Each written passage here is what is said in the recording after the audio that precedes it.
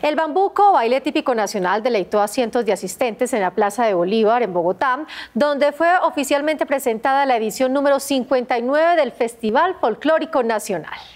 Sextetos, duetos, solistas, bailes típicos y folclor engalardonaron el lanzamiento. Con los ritmos del sanjuanero, senadores y autoridades del Huila invitaron a los colombianos y extranjeros a pegarse la rodadita desde el próximo 15 de junio a Neiva, pero también a Garzón, Pitalito de la Plata y otros lugares del Huila. Así es, con música los invitamos a nuestra próxima emisión. Gracias por su sintonía. La conquista mutua es la representación que una pareja hace a través de las diversas figuras y pasos del bambuco. Galantería y coqueteo, dos principios que se destacan con los aires y golpes melódicos del sanjuanero huilense.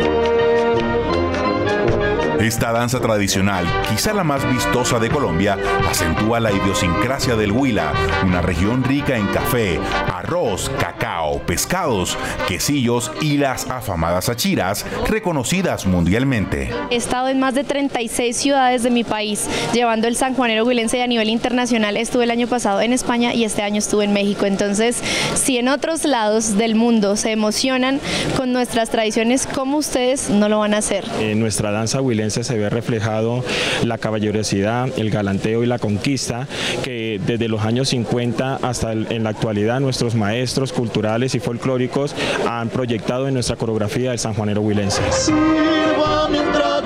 Esta majestuosa obra musical y artística, interpretada por reinas y parejos que desde niños soñaron con ser corresponsales de sus tradiciones. Desde la práctica tradicional se utilizan tiples, eh, caránganos, la puerca, guitarras y la tambora, que eso sí no puede faltar.